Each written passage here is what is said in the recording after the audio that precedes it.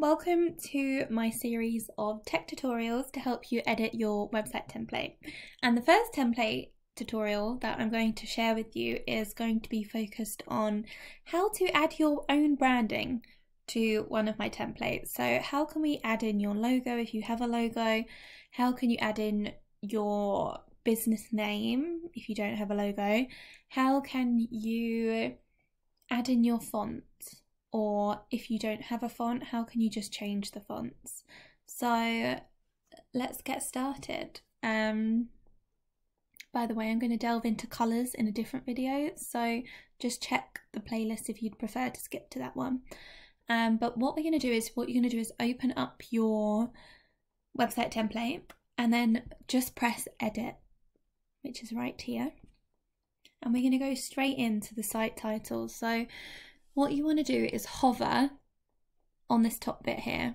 Depending on what template you've purchased, obviously it might be a little bit different, but you're going to want to hover on the header, which is the section with the site, the template name, and then the navigation links. So it will come up with a button that says edit site header. Click on that and it's going to bring up a menu that looks like this. So what you can see, we've got the global icon, we've got desktop and we've got a phone symbol. When editing any of the templates, I just want to use this this moment here to remind you to look at your mobile view and when you're updating things, don't forget to also update on mobile. And you literally do that just by switching to mobile view right there. Okay, so now anyway, let's get back into it. What I want you to do is literally you'll be in the global settings and I want you to click on site title and logo. So for all of my templates, I have not used a logo. Um, I've just used a site title. So for this one, it's a dog walking template and I've called it Not Quite 101 Dalmatians um, because I just felt like they wouldn't be able to walk 101 Dalmatians at once. Um, like in the movie, not like in the movie. Um, but yeah, anyway, enough of enough of my explanations. What you want to do then is if you have a logo, well, regardless of if you have a logo, to be honest, you want to write in your site title because it is what comes up here. So any text that you put in the site title is going to be what appears in your browser tab. Um, so you want to make a good first impression. So type it in here. So your business might be called Hi Jane. Don't know why that's come into my head, but it has, and then it's changed. See, um, but if you have a logo, what you want to do is just press Add Logo, and then upload the file. You want to add it as a PNG and make sure that it has a transparent background. Um, on this particular template, you might want a white logo if you're going to keep the colours the same. Um, but of course, it's up to you to have a play, honestly. Um, and then you might want to also upload a separate logo for your mobile. However, you don't have to. Um, it will show up on both if you just put one in the normal logo image. So now that that's done, what you'll want to do is go to desktop and then if you scroll down you can change it. So if you've got a logo in there it might throw off the sizing for example. So you might want to change the vertical padding. So I've got it on the smallest because I wanted it to be a really small header but you might want to make it bigger and you literally just slide these across.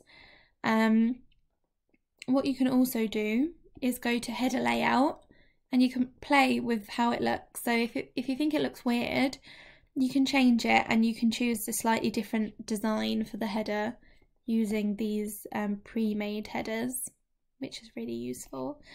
Um, and then for mobile, once you go to mobile, you can do the same. So if you go to header layout, again, you can actually switch it around which is awesome.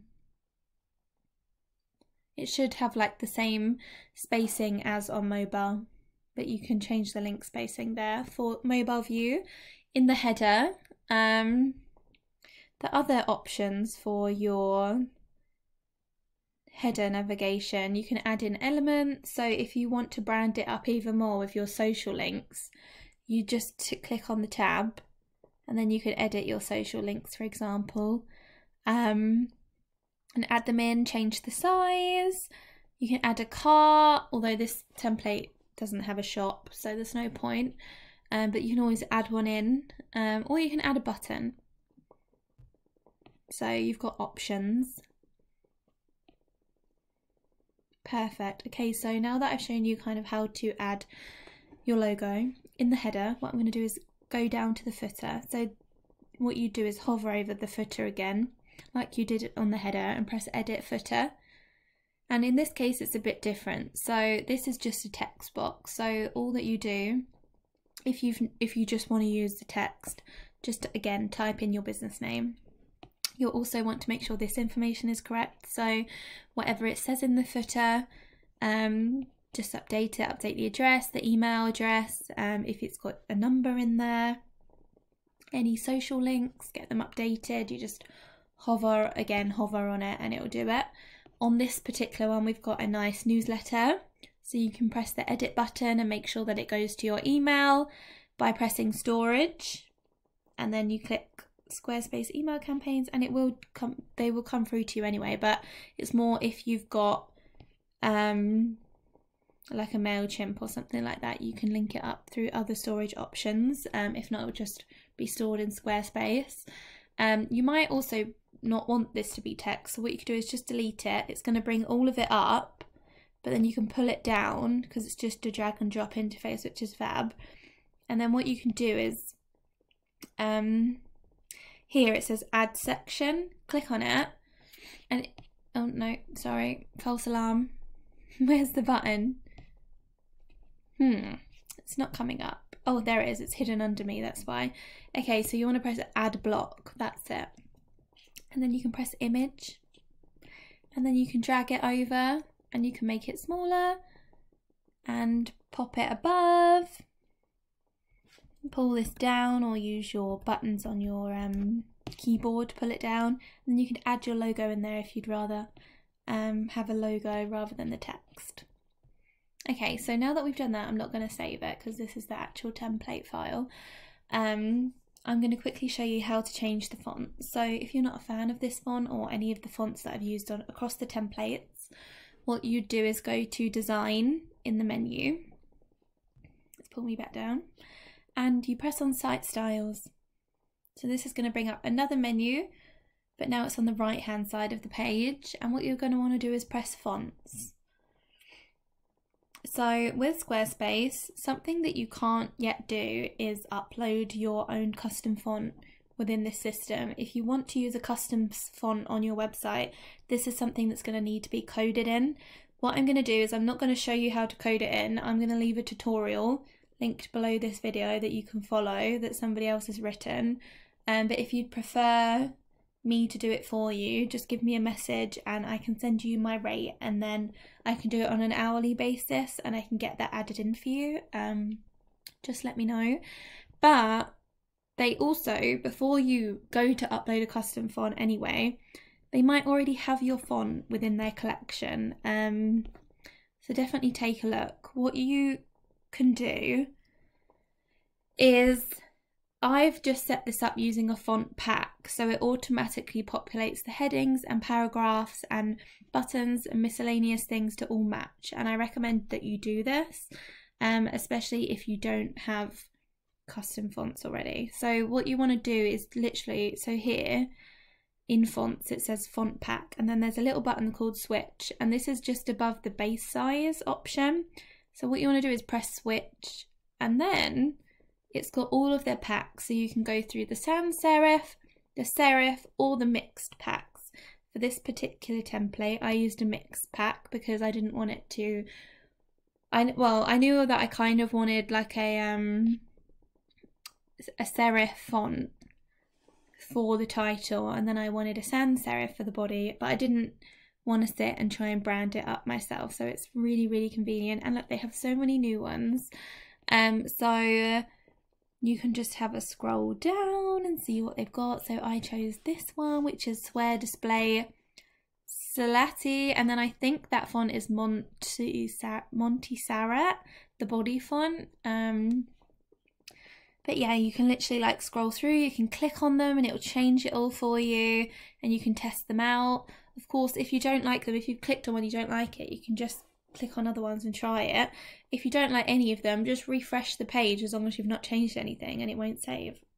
Um, so that it will go back to what it was. Um, although I've just said what it was, so you can click on it in the list. Um, and you can also search, which is great. Um, so this is one option, is just going through them. The other option would be to go in to your global text styles. So you can go to headings and then you can change all of the heading font family. So you just click on family and then you can press browse all fonts and then you can literally pick it from the list. Yeah, so the body text was Mont Montserrat, Monty Serrat. I'm um, awful with pronunciation of things. Um, but yeah, there's a massive list, so you can go through it this way instead if you'd prefer, and then you can of course do the same for the paragraph style. So within the actual fonts set like settings for the headings, what is great is that you can change the weight, which would be like the boldness um, of each font.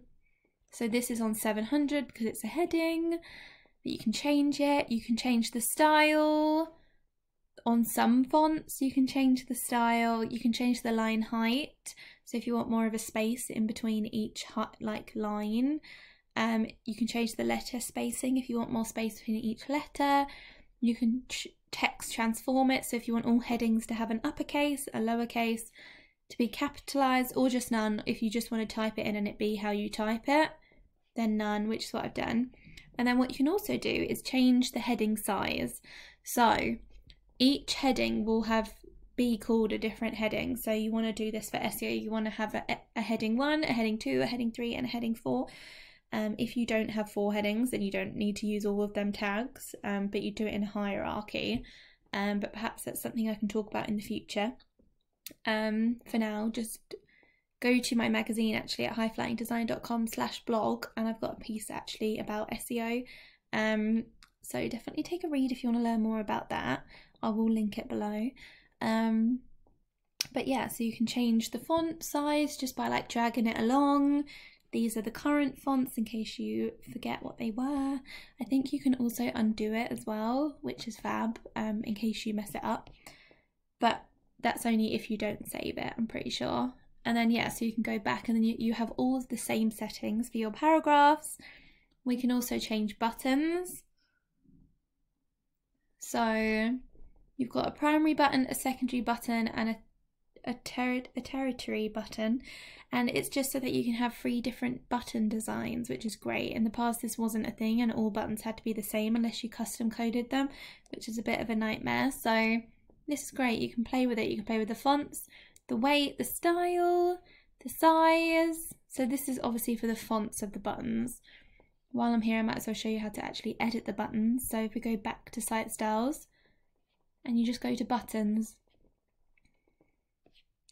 And as you can see again you've got the same settings. You don't have to go into fonts to change the button and font style. You'd go into text and then it's there.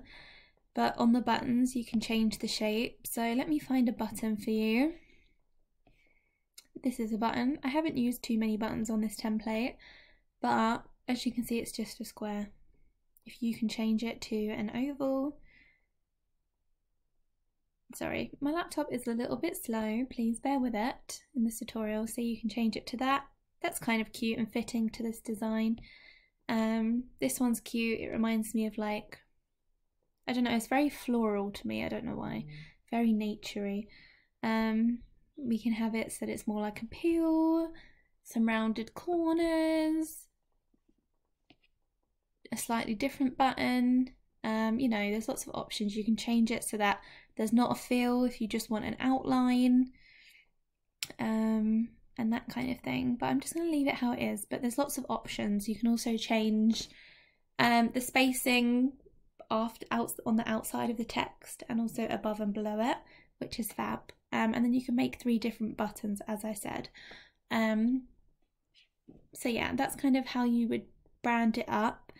I'm not going to go through colours within this video because it has just reached the 15 minute mark. And what I'm going to do is do that in a separate tutorial. So if you're not someone who just wants to delve into Squarespace and experiment, if you want to follow the instruction guide, um, please visit that video next. Um, and it will help you. But yeah, hopefully this has helped you so far. Again, like I said, if you want to reach out to me, that's fine. I'll get back to you as soon as I can with any questions, anything I might have missed. Um, but yeah, that's all for now. I will see you in my next one. Bye.